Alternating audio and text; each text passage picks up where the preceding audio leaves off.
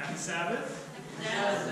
So today we'll do the six steps for knowing God's will for my life, for your life. And on top of that, I'll give you bonus for only $19.99. We'll have the bonus, they'll be free as well, because we as humans, we like to make things more complicated. You could probably break this down to three steps, maybe two. But we need to dumb things down enough to put them into simple steps. And that's what we're going to be talking about today. Now, who here has God's will for their life all worked out? Raise your hand. We have young men here, young women, early on in their life. We have middle-aged people living our lives. We have people who are beyond 50% of their life. We're all living our lives, and are we living our lives according to the will of God? This is an important question we should be asking.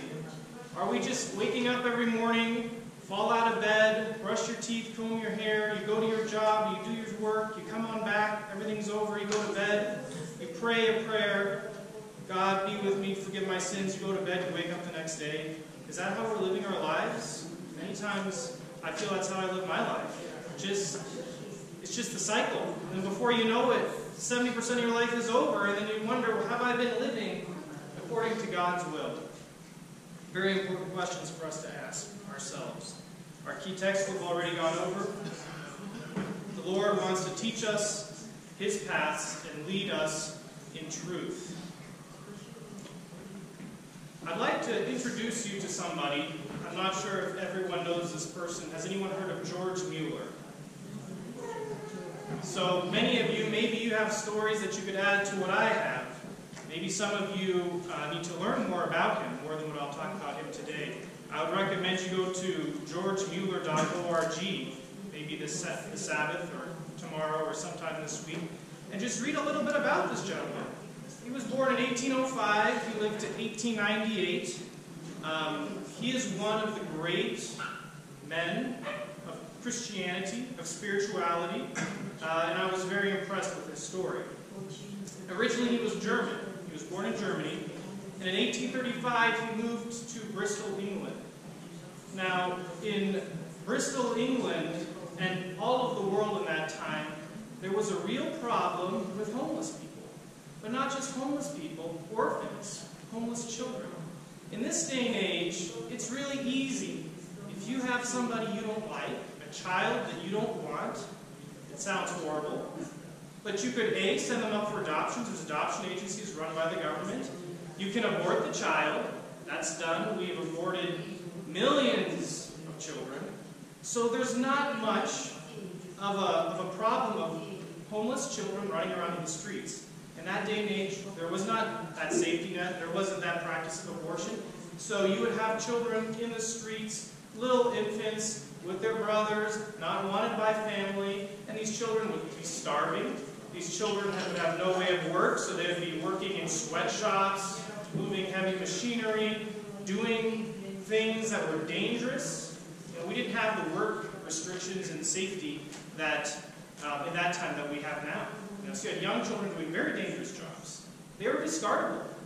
They were not wanted by anyone in society. So George moved to Bristol, England. It, like many cities in that time, had this problem. Children were everywhere. And um, he, he started as a pastor there, and that's where he really started to grow in his faith um, with God. He had the practice of having a little, uh, a little uh, offering plate at the back of the church. He would never beg for funds. Have you been to churches that beg for funds? We need funds. Give us, fill us up, help, help us pay off our, our loan on our church, help us do this, help us do that. They're, they're always begging. Everybody's begging for money. He never begged. He never asked. And that's how he developed in his spiritual life with God. While he was there in Bristol, England, he was touched by the verse in James 1.27, and it says, Pure religion and undefiled before God and the Father is this, to visit the fatherless and the widows in their affliction, and to keep themselves unspotted from the world. When he read to visit the fatherless and the widows, that's what really touched him. You know, there needs to be something done about the children here um, in Bristol, England. So what did he do about it? This is a picture of 1,500 boys and girls in 1805, and they're outside of one of his orphanages. In fact, he didn't just build one orphanage, he had up to five orphan houses that he had developed. In his lifetime, George Mueller raised over 10,000 orphans. He benefited over 60,000 children in his life. One house was big enough to house over 2,000 children at one time.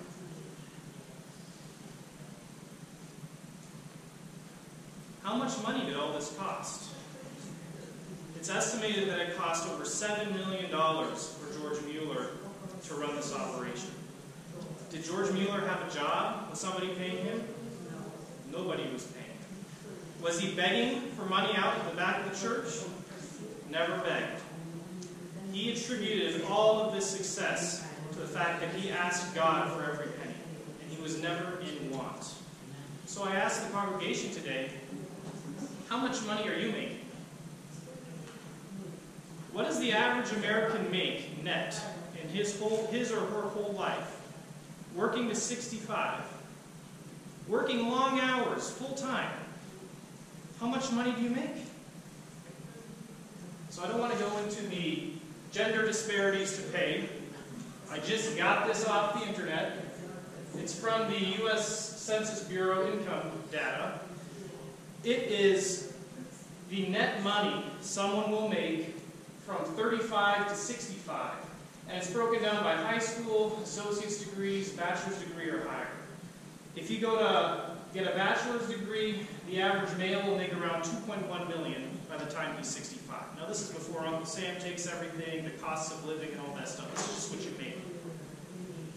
The average women, woman, 1.4 million. You can understand, you know, we can get into all the, the drama of that, but I'm going to avoid that today. If you have an associate's degree, the average is around 1.2, and if you have just high school alone, 0.7 million in a whole lifetime. So my question for us is, why are we working? We should be praying. George Mueller made $7 million to raise all these children. $7 million in that day and age. And here, Americans are working all their lives, and they don't even make half of what he made. Here's a, a quick story on, on, a common story in the theme in the life of, of George Mueller. So it was a common thing for them to always be running out of money, running out of food, but they had complete reliance on God. So one day, uh, George Mueller was in one of his houses. Uh, I think it was more early on before he had five of them. And he and his wife knew that they had no more money. They had no more food to feed the children. They didn't have anything to give them to drink, and it was breakfast time. So he lined all of his children up in a row in the kitchen, and uh, he, he told them, you know what, children, we must not be late for school. You know, we're going to pray to God now. And he prayed he said, Father, he raised his hands and said, Father, thank thee for what thou art about to give us to eat. And the second he finished his prayer, there was a knock at the door. What had happened? The local baker had got an impression from God last evening that he should bake all night and make bread for those children. And that was not it. Just as soon as the baker unloaded all the bread that he made for the children, there was another knock at the door. And it was the milkman. Milkman, his, his car, his, his wagon broke down right in front of the Mueller orphanage. And he needed to get it fixed, and he had to unload all the milk so he could take his vehicle to get fixed. So he gave all the milk to George Mueller. And this was a common story.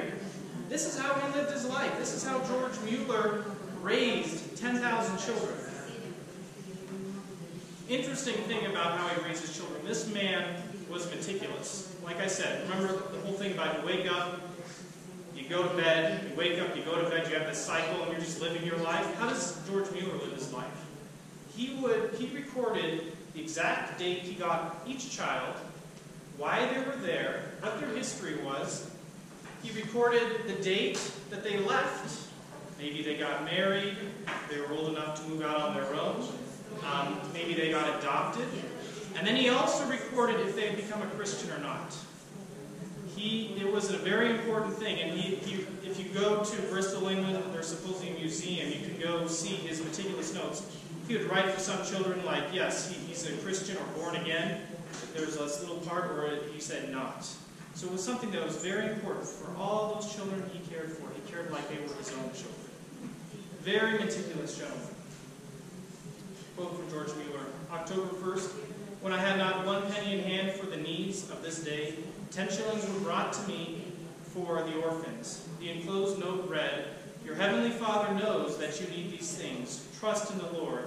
This word of our Lord is to be more valuable than many bank notes. Like I said, very meticulous. What did George Mueller do? He chronicled every prayer he made.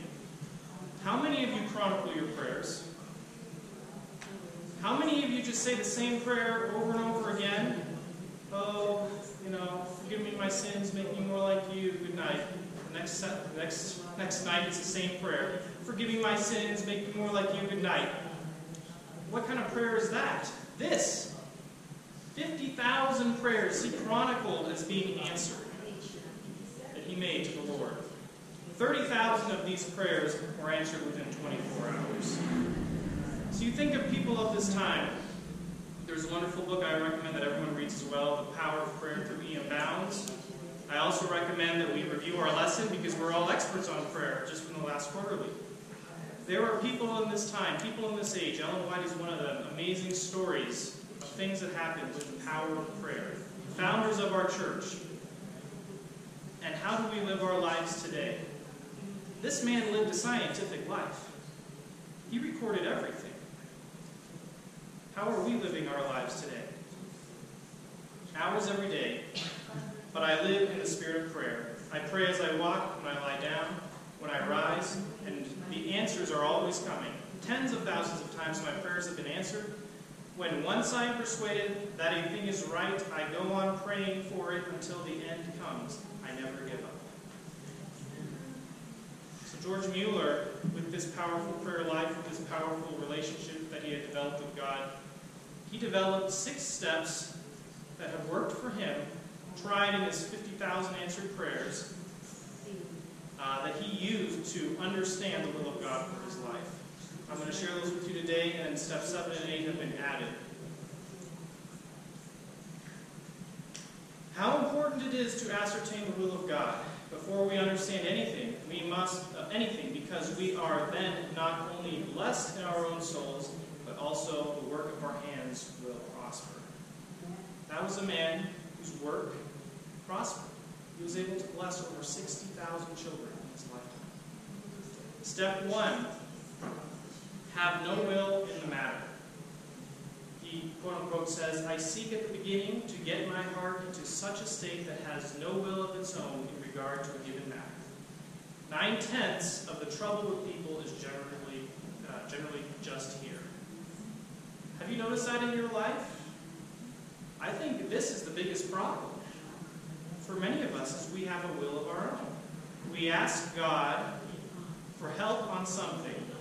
Lord, what would you have me do? What do you want my career to be? Who should I marry?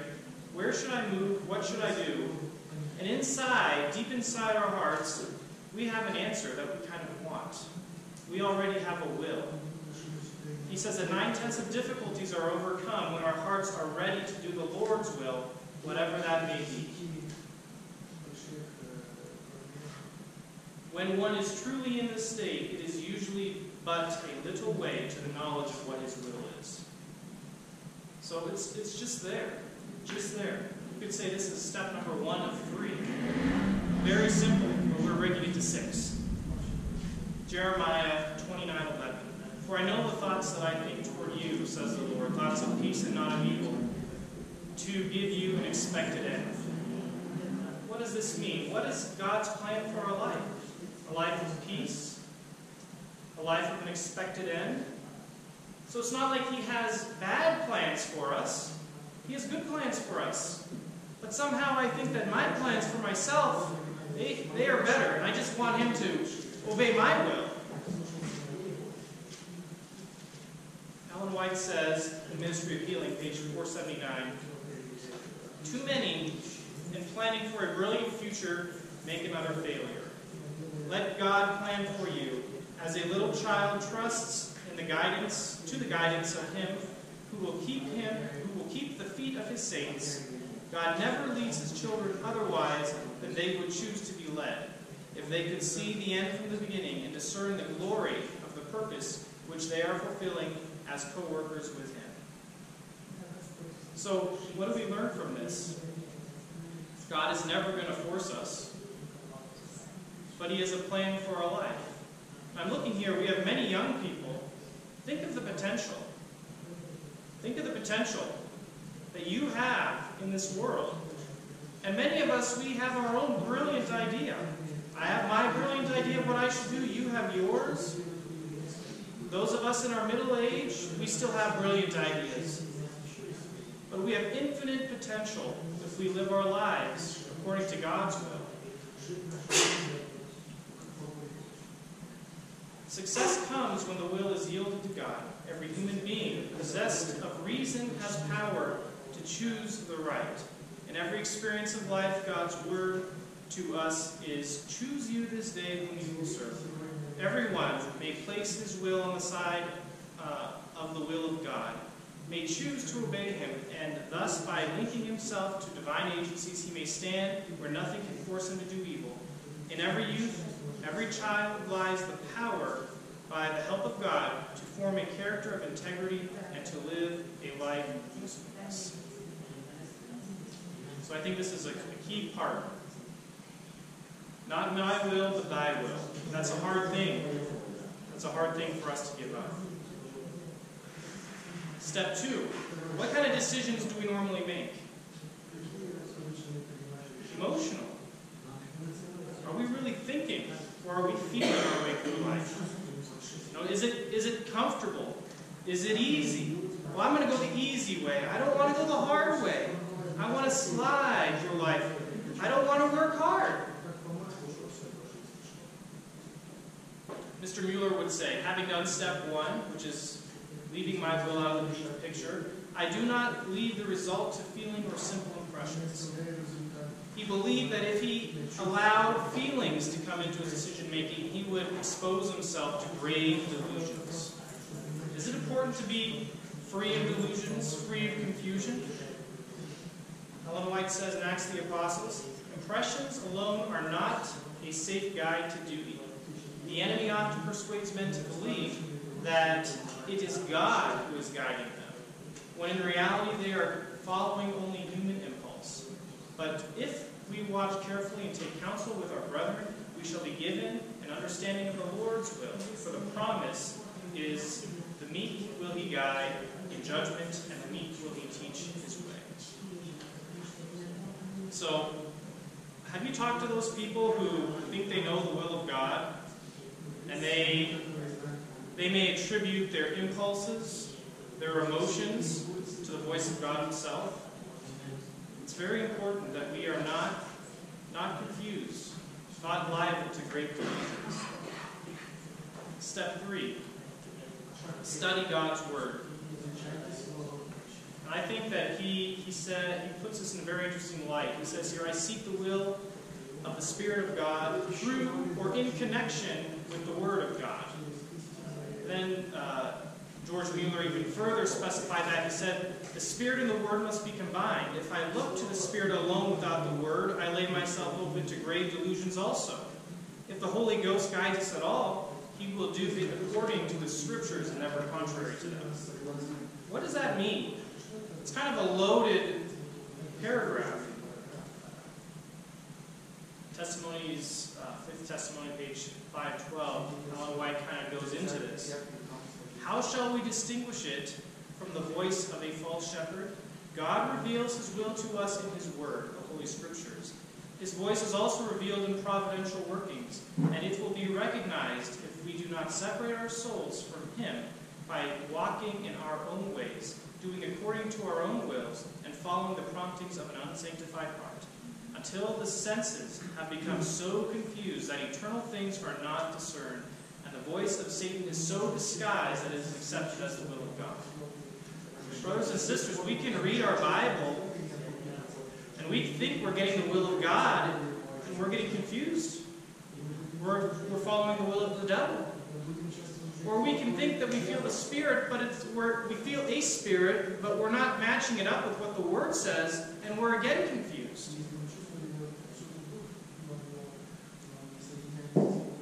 Psalms 119. Thy word is a lamp unto my feet and a light unto my path. Step 4, which I think is very important as well. Consider providence. Next, I take into account the providential circumstances. So, what are, what are providential circumstances? George is looking back. How could he look back? Because he recorded. Are we recording? Do we even know how we've been led in the past? Ellen White says we have nothing to fear for the future except we shall forget the way that the Lord has led us and his teachings in our past history. So, are we looking back to where we've come from? I think this is interesting because several times in my life I, I've hit questions like, have I been doing the right thing? Like, the path I've taken. But if, if you just record a little bit, which I have, and I look back at how I've been led here, here, and here, and here, I may not have followed God's will 100%, but you know what? He has opened doors for me. And because of that, I feel confident that maybe I should take the next step. We need to consider God's providence in our lives. So many times He has done something for us, so many times, but we just forget it. We've forgotten it. We don't know where we've come from, so how do we know where we're going? Step 5. I ask God in prayer to reveal His will to me aright. He says that he would stay on his knees till he hears the voice of God. Like I said, we just had a whole, a whole lesson, a whole quarterly on prayer. We know what true prayer should look like, but are we starting to incorporate what we've learned? Are we just doing a one-way conversation, kneeling down, giving our petition, and then getting up and going? Or are we waiting? Are we even expecting to hear something? Are we waiting to hear something, or is God just a one-way street? You just send the, text message, and He'll never send a text message back. Psalms 46:10. Be still and know that I am God. So there must be time. Prayer, and the power of prayer, with through E.M. Bounds, who writes that book, I think would supplement our lesson great. He goes over and talks about people, great people of truth who prayed. And a lot of it was just them listening. They weren't talking, they were listening. Are we taking the time? Are we taking the time to listen? Now, this is a very good quote, especially for young people, but I think this can be this can be applied to anybody. Messages, to young peoples, uh, page 460. If men and women are in the habit of praying twice a day before they contemplate marriage, they should pray four times a day when such a step is anticipated. Marriage is something that will influence and affect your life, both in this world and the world to come. How many of us really care to check in with what God thinks before we get married? I mean, it's what I think. Are we following these steps before we get married? Lord, I have no will in the matter. Can't say that I followed these steps 100% before I got married. Should we? I think we should. Is this just marriage? Or is this what should be my career in life? Is this what should be the next step in life? I've got my career, I'm in a comfortable place. What should I do next? Where should I move? You know, these are important questions. Are we putting the time in, the repetition in, the frequency in? What did uh, George Mueller say a few quotes ago? When he was certain on a matter, he would pray over and over and over and over again to make sure he got the same result. I don't know. If I get an answer, I think I'm done. The communication's over. We don't need to double check. Let's just go. But that's not the way to live our lives. Step six. You need to make your decision. You've prayed, so you've started with getting will of, getting rid of your own will. You've kicked out emotions. You've prayed to God. You've looked back at circumstances in the past where He's led you. Now it's time that you need to make your decision. He says that he comes to a deliberate judgment according to the best of his ability and knowledge. And if my mind is thus at peace and continues so after two or three more repetitions, So this is not the end. He does this, like I said, multiple times. Then he proceeds accordingly.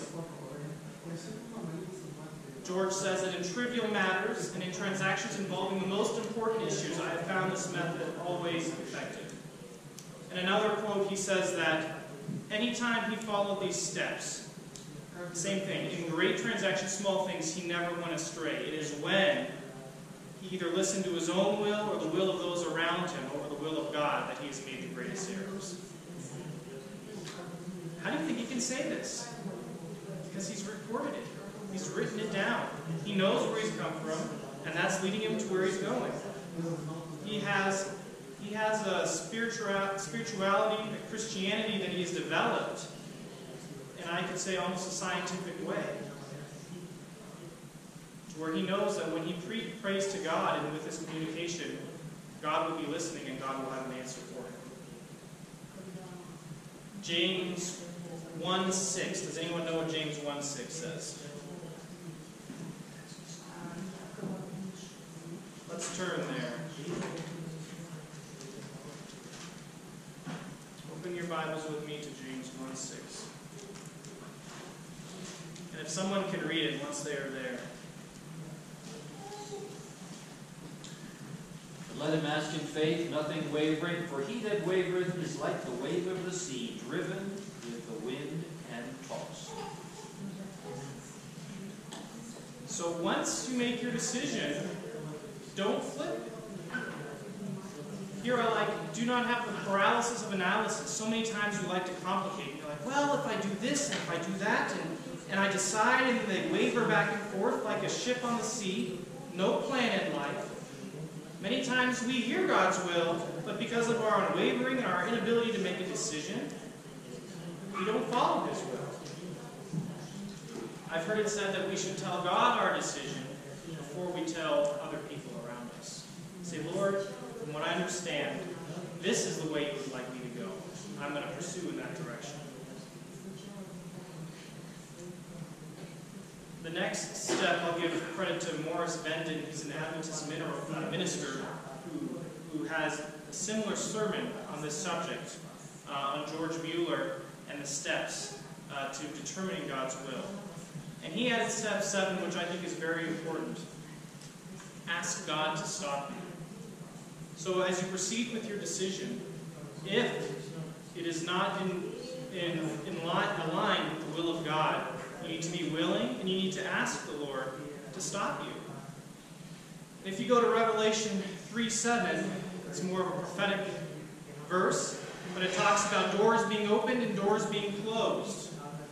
Have you seen that in your life? Where you proceed in a certain direction, you think you're abiding by the will of God, but maybe a door will open over here, or maybe the door that you thought was His will will close. We need to be willing, for if in any manner we are confused or a little off, that we ask God to stop us and close doors and for us to respond appropriately. So what does that mean? It means that we could be applying for a job and doors are closing everywhere. Is that, is that something that, you know, we should get discouraged from? Maybe, you know, with your career, doors are just closing, opportunities are falling apart. It could be that God is, is trying to lead you in a certain direction. He's closing other doors so he can open new ones for you. So we need to be willing to step out in faith and go through that new direction, or accept that something has been closed before us. The greater the difficulty to be overcome, the more it will be seen how much can be accomplished by prayer and faith. When God overcomes our difficulties for us, we have the assurance that we are engaged in His work and not our own. I'm adding step eight because you cannot you cannot look back at the providential followings of God in the past if you haven't built monuments to Him today. If you're not recording your 50,000 prayers that you've given to God, how will you know that He's ever answered your prayers? So I think it's critical for us, in order to accept step four, consider providence, that we record how He has led us in the past.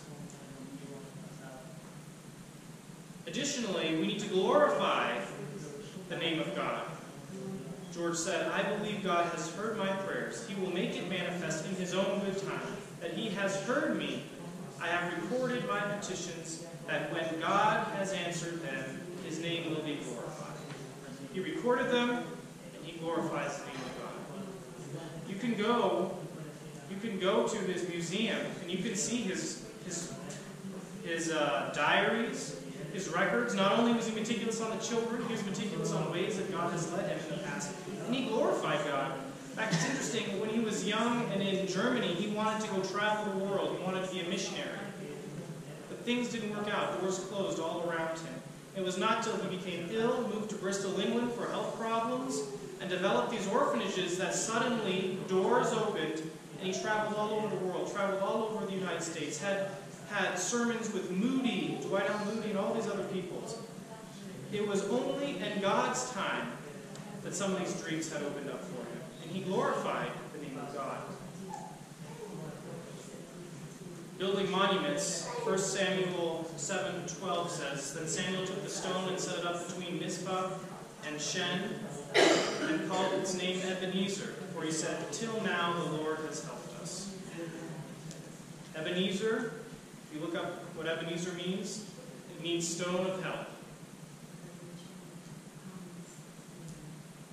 In Bible commentary, page 1012, Ellen White encourages, Let such ones keep a diary, and when the Lord gives them an interesting experience, let them write it down, as Samuel did when the armies of Israel won, uh, armies of Israel won a victory over the Philistines.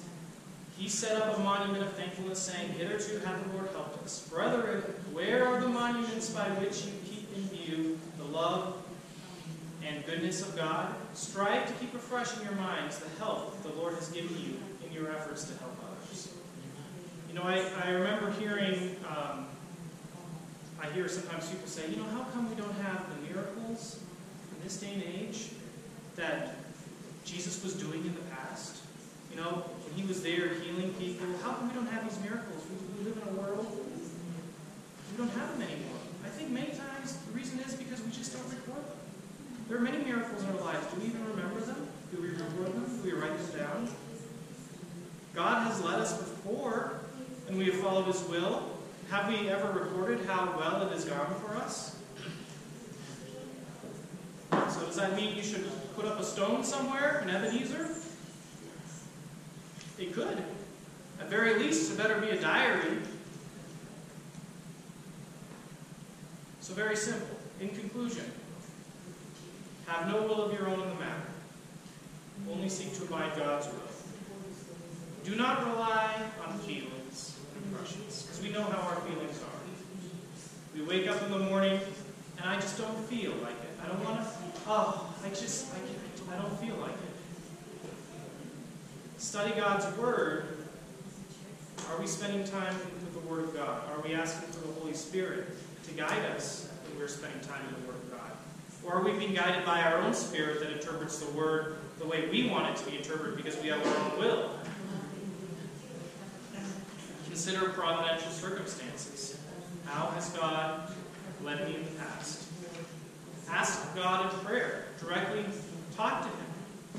When you're talking to Him, spend the time to listen for Him. Then you eventually have to make the decision.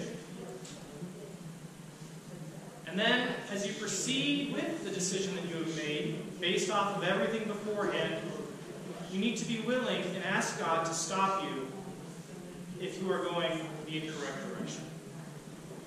And then last but not least, build the monuments because I really believe, you know, many times in our daily lives, we do not record this.